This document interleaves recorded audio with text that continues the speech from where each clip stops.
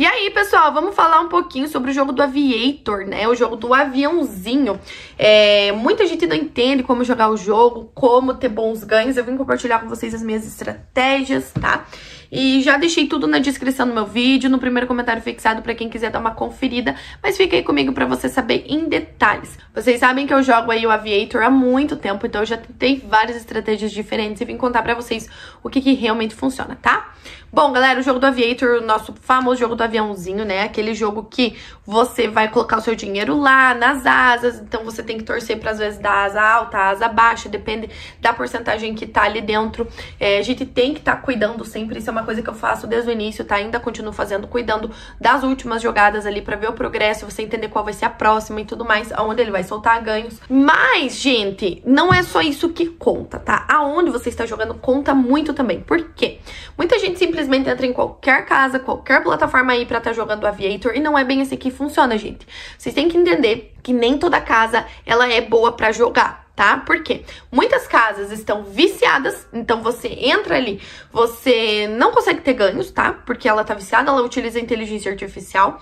Outras casas tem muita gente jogando, então você não vai ter chance, ela não vai dar ganhos para todo mundo, então dá ganho para minoria das pessoas. Outras casas foram criadas por golpistas, então você entra lá, tem ganhos, mas você não consegue sacar o dinheiro. Então tem várias coisas para você saber antes de estar tá escolhendo uma casa, não é fácil, por isso que eu vim facilitar a vida de vocês, tá? Porque eu testo várias casas sempre. E eu tô com uma casa nova aí do Aviator, gente, do jogo do aviãozinho, que valeu muito a pena pra mim, tá? Por ser casa nova, ela tá bugada, então, é, não tem inteligência artificial, não tá viciada, ela, ela tem assertividade maior, tem multiplicadores maiores, tá bom? Além de estar tá recrutando novos jogadores, porque tem muita pouca gente jogando ali dentro. Então, pra mim, valeu muito a pena, gente. E assim, ó, você joga, você fez o dinheiro, se você quiser sacar na mesma hora, você saca no mesmo dia, o dinheiro vai estar na tua conta. Então, é muito mais fácil, muito mais simples, tá? De lidar com eles ali. E também por ser casa nova, então eles dão esse esse contato assim para você direto. Então tudo que você tem que fazer é entrar, efetuar seu cadastro. Se já tiver, eu recomendo que faça um novo porque eles priorizam novos jogadores, como eu falei. Aí você procura pelo jogo do Aviator e faz o depósito mínimo, tá, gente, de 30 reais. É importante esse depósito mínimo para que o bug seja ativado e que eles entendam que você não é um jogador inexperiente.